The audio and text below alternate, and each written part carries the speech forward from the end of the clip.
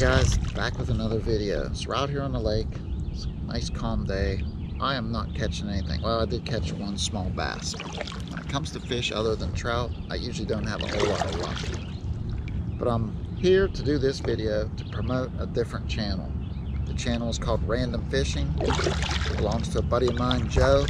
Uh, me and Joe grew up together. We were teenagers, did a lot of hunting and fishing together.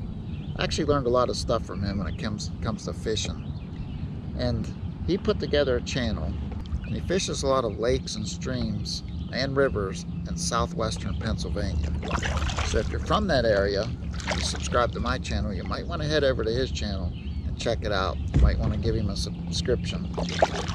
I'll tell you what, when he fishes, the guy catches one fish after the other. Here I am on this lake, I catch one fish, I've been here for a couple hours. His videos aren't like that. They're one fish after the other. If you want to check out his channel, I'll put a link in the description below.